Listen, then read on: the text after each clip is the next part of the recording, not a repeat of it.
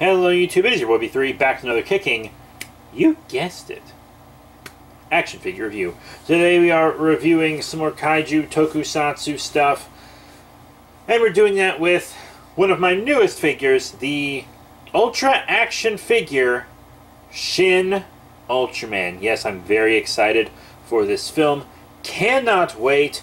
Uh, I was gonna get the movie Monster Series Shin Ultraman, but then I, I I saw this guy for $2 less. He's smaller, but he's more articulated, and I feel like he'll look better with some of the kaiju as well. We'll have to see. So, uh, here is the Ultra Action figure, uh, Shin Ultraman in packaging. Uh, very cool, pretty simple. Product shot on the side. You know, you get text on the front window uh, to see the figure as well. More product shots, legal stuff, a bunch of legal stuff uh, on the back here, and then uh, more images of the figure. So yeah, now I'm gonna bust him out of package and see what he's like. And here he is out of package, the Ultra Action figure Shin Ultraman.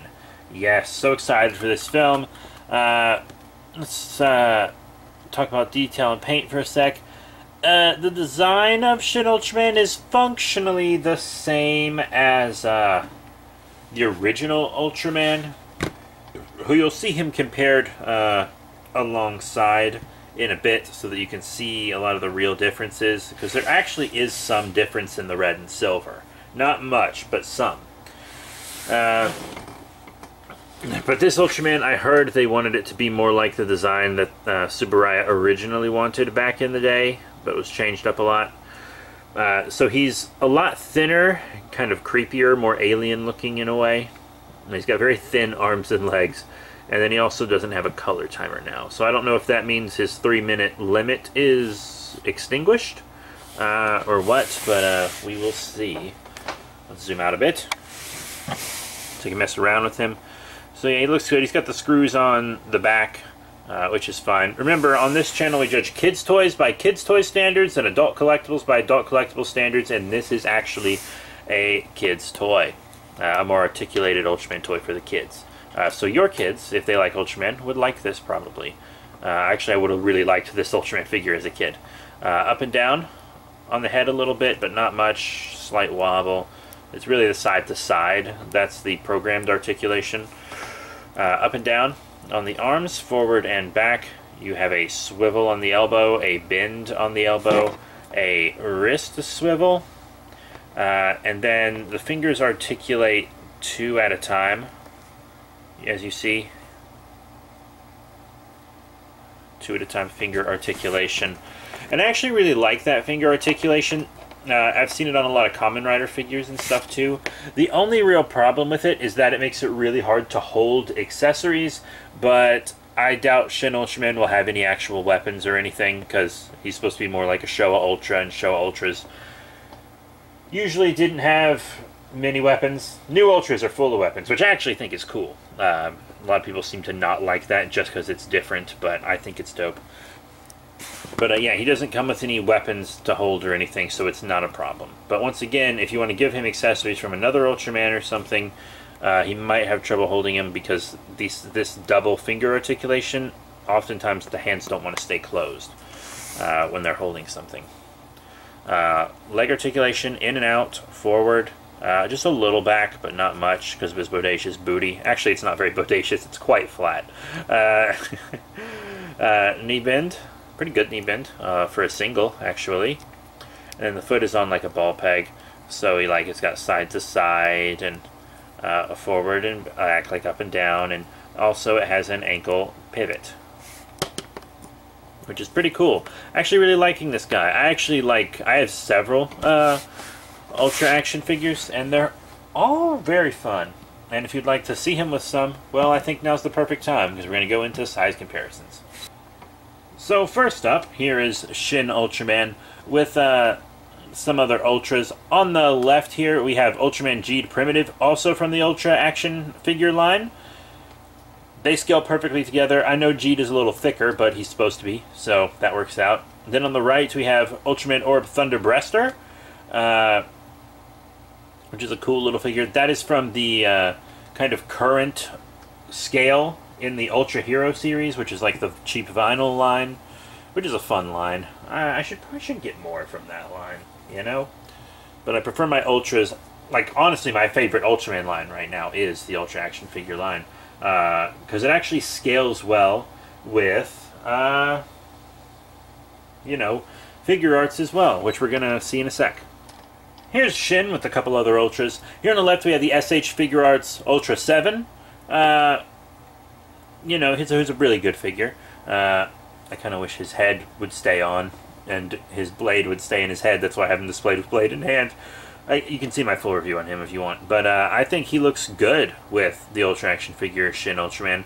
And then on the right, you see the Ultraman that Shin's design is uh, mostly based on.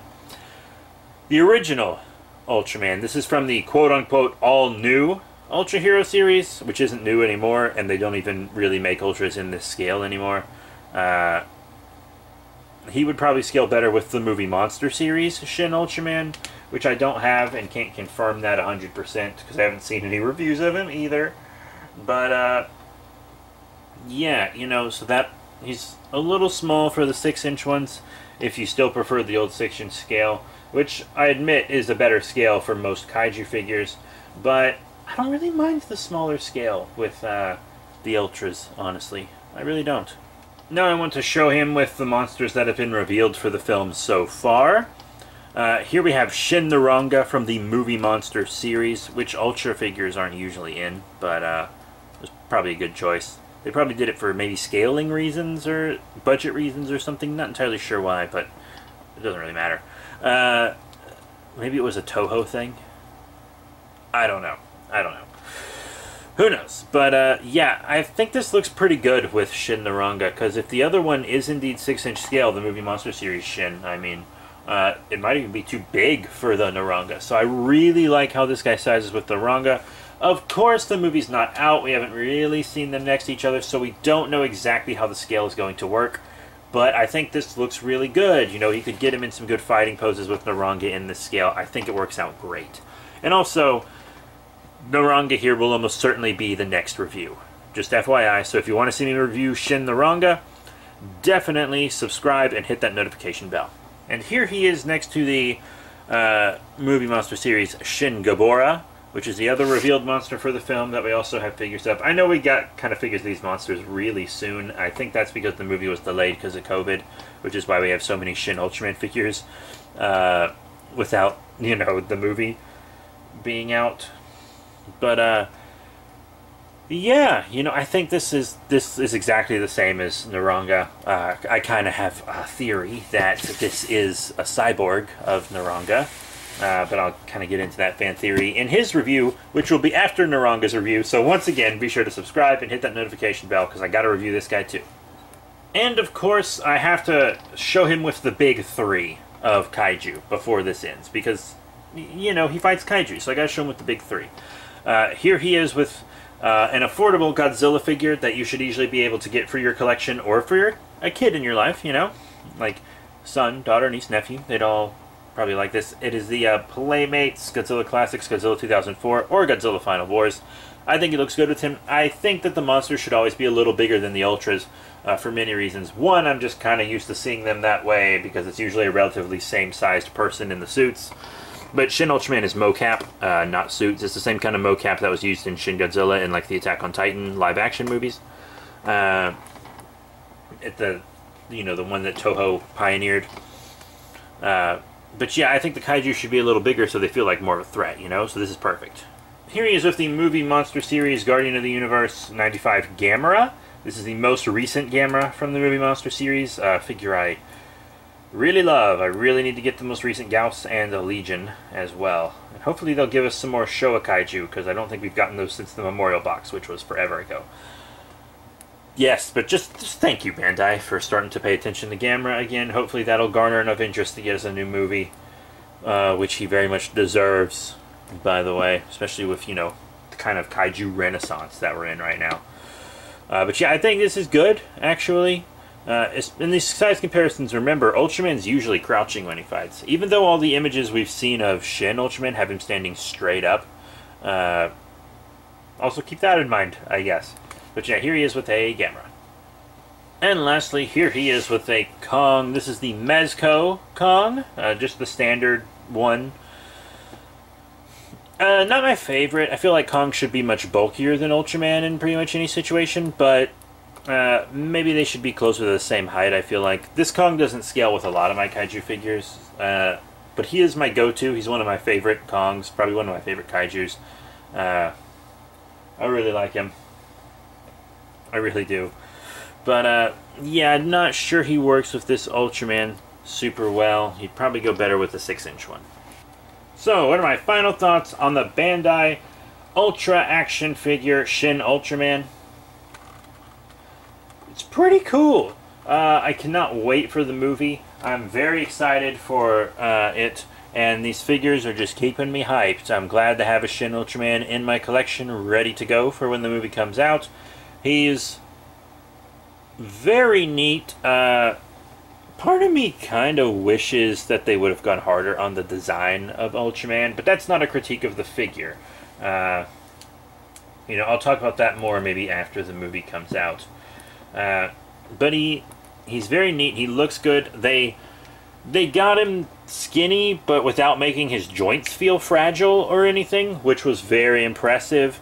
Uh, I like the paint. It's pretty clean. I know that the hands are kind of not really the shiny metallic silver, and they're more of a dull gray, and that's a bit of a contrast, but uh, it doesn't really matter that much. Plus, you know, all that movement in the fingers and stuff would wear the metallic paint down, because metallic paint scratches pretty easily, uh, all things considered.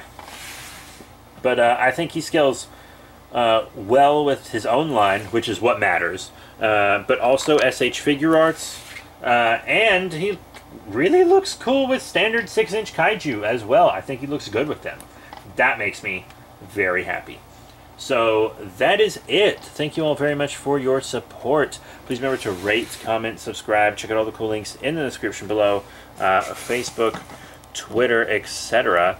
And uh, I will see you all next time when we review the Movie Monster series, Shin Naranga. So be sure to subscribe and hit that notification bell. Have a good one and I'll see you then.